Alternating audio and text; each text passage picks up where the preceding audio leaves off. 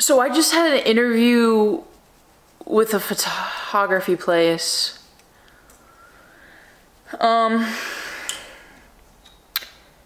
first off, they were late with the Zoom call meeting. They said we're gonna schedule you for an interview at 3:30.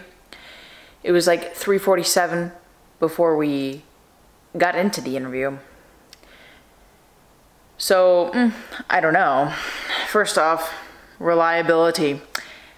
Secondly, I'll be shooting kids for their high schools and like sports and stuff. And it's only like $15 an hour if you're a pro photographer of theirs, which means um, you have like 35 hours availability. And it's like fall, it's about that season where they like take, you know, student photos. So it's like mm, 15 for an hour for, he said like a long, could be a long day. I was like, hmm, hmm. And he was like, well, it's $13 an hour if, um, you know, you have whatever availability.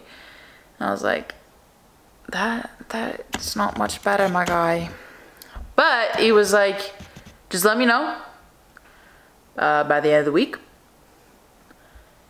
because we would love to have you and like train you up for the photography position. I was like, okay. All right, so I've been thinking a lot about this photography job. Also, like he wants me to follow a specific style and he wants like the company's poses done first and then like I can bring to the table whatever. It's just like he literally put he put it kind of like that basically.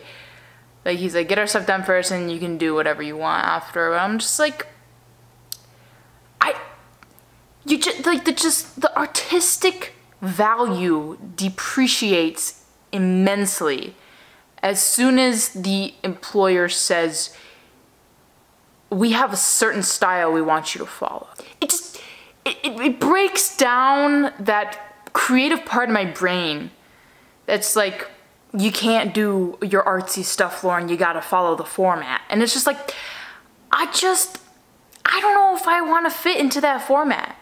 I could take photography pictures of, you know, students and athletes and stuff like that's not a problem. The problem is, is that I know I won't enjoy it because I have to follow someone else's format.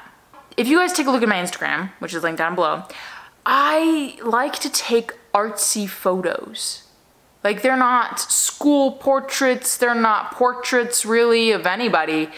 Um, they're artsy and they have a specific style and it's like, at least I think I have a style, but for my photos at least, uh, it's just, I don't know if I will fit into the school photographer type.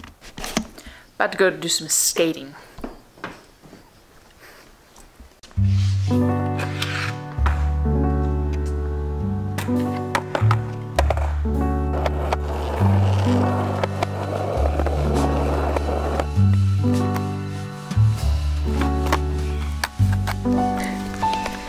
Guys, I'm very rusty I'm very rusty. I, I, I can barely do an ollie now.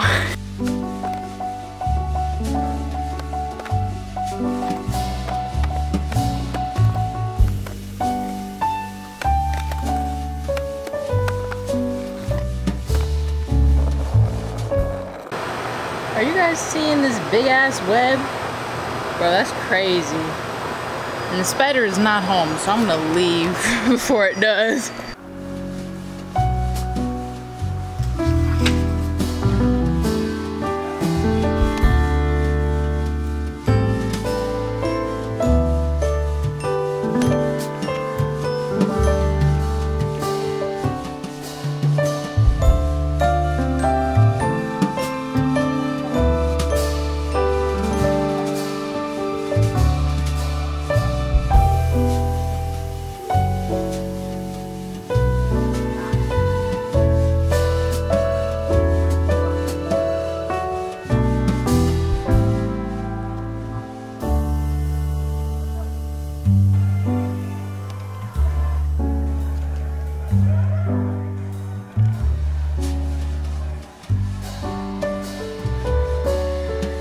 Video is brought to you by my Patreon page, where you can go and find more adventure videos, and also my merchandise. Both links are down in the description below.